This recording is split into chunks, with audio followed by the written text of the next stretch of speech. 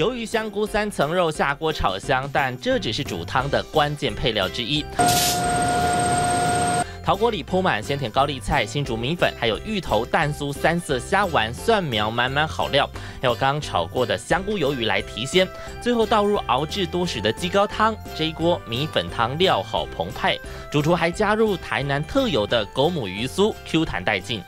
鱼酥米粉那那那个，这个是他们家特有的，别的别的地方好像是没有。海鲜是真的很新鲜，因为他们这这地的海鲜是不是那个批发来的，是。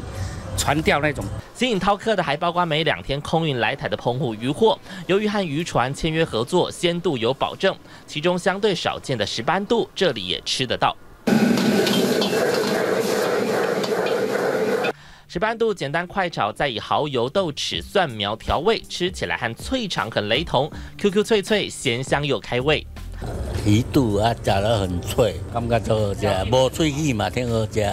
一道道经典秋楼菜的推手是五年级生的肖永玉，十七岁就入行学酒家菜，待过来来饭店、环雅饭店、兴业集团，累积三十六年的好功夫。手工菜的东西已经几乎都很在失失传了，好，然后很多事物都不会，然后也也是最主要的原因就是出在于很麻烦。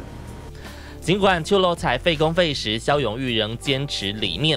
像是这一道大肠包香肠，经过卤制、风干、油炸三道工序，才做出了酥脆又入味的口感。还有用猪耳朵包裹猪舌头的小菜，得卤过又烟熏，也是得耗时八小时才能完成。甚至拿龙虾来做成三明治，也是肖永玉的创意好料。他们海产都很新鲜啊，跟人家不一样的，真的很好吃。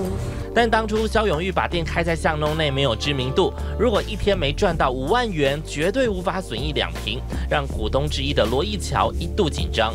那在开店之前，我们的现金几乎都是用完的。这中间的过程，我们也有打苍蝇、打蚊子的的状态。有鉴于台菜餐厅来光顾的都是四十五岁以上的中老年人，罗一桥和师傅脑力激荡，决定老菜新做。将牛蒡丝下锅油炸，铺上满满鹅啊，再以金黄蛋液点缀，创新的牛蒡鹅啊披萨，堪称是隐藏版菜单，没提前预定可吃不到。类似鹅啊爹这样，但是他没有弄那么多的粉，蛮酥脆，蛮好吃的。随着口碑相传，目前二十五岁到三十五岁的年轻客群已经占了三成。肖永玉要继续用老菜新创意，慢慢滚出新台币。东森财经，我蔡要打张博祥他也不倒。